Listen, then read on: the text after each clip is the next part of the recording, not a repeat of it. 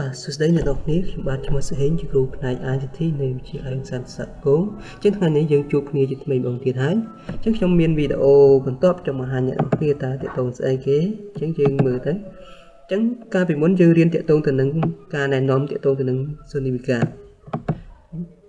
ហើយថ្ងៃនេះយើងរៀនមាន2ចំណុចភ្ជាប់គ្នាទៅម្ដងគឺយើងបង្កើតជា new video background ហើយយើង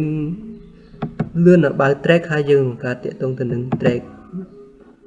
អញ្ចឹងយើងមានពីរចំណុចអញ្ចឹងខ្ញុំកុំឲ្យខាត់ពេកខ្ញុំអនុវត្តតែម្ដងអញ្ចឹងកម្មវិធីនេះយើងស្គាល់ហើយ Vika Pro អញ្ចឹងយើងមកស្ដាំលើវាមក open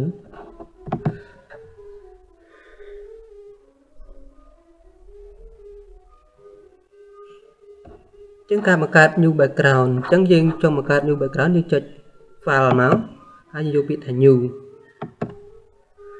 អ្វីយើងត្រូវដឹងគឺចំណុចកន្លែងនេះអញ្ចឹងចុចលើវាមកយើងកន្លែងហ្នឹងគឺភាគច្រើនគឺតាក់ទងទៅនឹងទំហំវីដេអូអញ្ចឹងទំហំវីដេអូគេច្រើនយកពាក្យថា HD 720ដល់60អញ្ចឹងទៅនេះ100 1280គុណនឹង720អាហ្នឹងគឺជាទំហំវីដេអូដែលជាលក្ខណៈស្តង់ដារគេច្រើនប្រើអញ្ចឹងបើយើងចង់បានវាកាន់តែធំរូបវីដេអូហ្នឹងកាន់តែច្បាស់អញ្ចឹងទៅ ចឹងតែជាទូទៅគេច្រើនប្រើទំហំមួយនេះបាទអញ្ចឹងខ្ញុំយកវាបណ្ដោយទៅបន្តមកទៀតទាក់ទងទៅនឹង full resolution កន្លែងហ្នឹងគឺយើងយកពាក្យថា browse ហើយរើសទីតាំងកន្លែងប្រើយើងរើសទីតាំងចង់ដាក់វានៅកន្លែងណាអញ្ចឹងឧទាហរណ៍ថាខ្ញុំចង់ដាក់វានៅលើ desktop អញ្ចឹងចុចលើ desktop មកខ្ញុំយកពាក្យថាអូ okay តមកគឺ okayចឹងវាមានអីការប្រែប្រួលអីប្រហែលទេដោយសារខ្ញុំធ្លាប់បានដាក់ background វាម្ដងហើយ ចឹងគឺវាថ្មីស្រឡាងចឹងឯងបន្ទាប់មកទៀតគឺអ្វីដែលយើងត្រូវដឹងបន្ទាប់គឺយើងរៀនតាក់ទងទៅនឹង track អ្វីទៅគឺជា track ហើយនឹងការបង្កើត track អញ្ចឹង track ហ្នឹងគឺជាចំណុចមួយ ជាកន្លែងមួយសម្រាប់យើងធ្វើការដាក់ជាវីដេអូរូបភាពអក្សរហើយនឹងសំឡេងអញ្ចឹង track វាមាន2អញ្ចឹងឧទាហរណ៍ខ្ញុំមកស្ដាំលើវាអញ្ចឹង track នេះគឺវាមាន2 ចឹងវាមានជា audio track ហើយនិង video track ចឹងឧទាហរណ៍ថាខ្ញុំយក video track ចឹង video track ហ្នឹងគឺប្រើសម្រាប់ធ្វើអីទួនាទីរបស់វាចឹង video track ហ្នឹងគឺយើងដាក់ឯកសារជាលក្ខណៈ video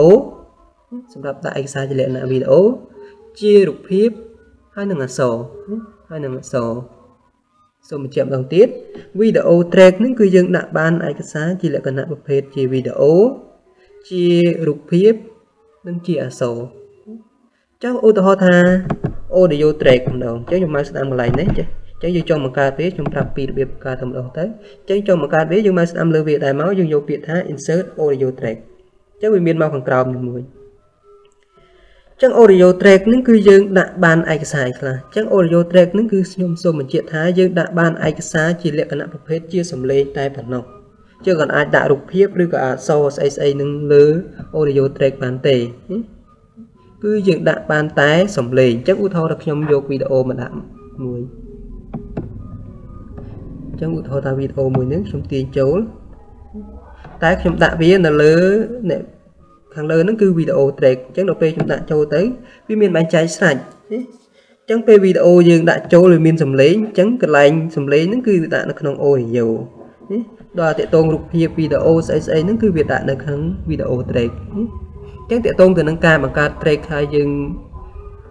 track ហ្នឹងសម្រាប់ធ្វើអីយើងថាជាបានដឹងហើយអញ្ចឹងការបង្កើតហ្នឹងយើងគ្រាន់តែមកស្ដាប់លើវាទៅយើងយកពាក្យថា insert ស្អីមួយវីដេអូ track ឬក៏ audio track អញ្ចឹងទៅអញ្ចឹងយើងចង់បាន track វីដេអូ track ប្រហែលទៀតយើងមកស្ដាប់ហើយយើងយកទៅតាមនឹងទៅអញ្ចឹងចង់បានប្រហែលទៀតយើងគ្រាន់តែមកស្ដាប់ហើយយើង insert វាទៅណា បាទហ្នឹងទាក់ទងទៅនឹងការបង្កើតអញ្ចឹងយើងបាន track ច្រើនអញ្ចឹងជាធម្មតា គឺគេត្រូវការបង្កើត track ក៏បានច្រើនក្នុងការបង្កើតជាវីដេអូខារ៉ាអូខេអញ្ចឹងយើងអាចប្រើប្រាស់ track តែមួយទេអញ្ចឹងយើងមានត្រូវការដាក់រូបភាពផ្សេងផ្សេងច្រើនដាក់អក្សរអញ្ចឹងយើងត្រូវការប្រើប្រាស់ track ច្រើនអញ្ចឹងទាក់ទងទៅនឹងមេរៀនហ្នឹងគឺខ្ញុំសូមបញ្ចប់ត្រឹមតែប៉ុណ្្នឹងទាក់ទងទៅនឹងការបង្កើត new background ហើយនឹង យើងរៀនអំពី track នៃការបង្កើត track បាទសូមអរគុណ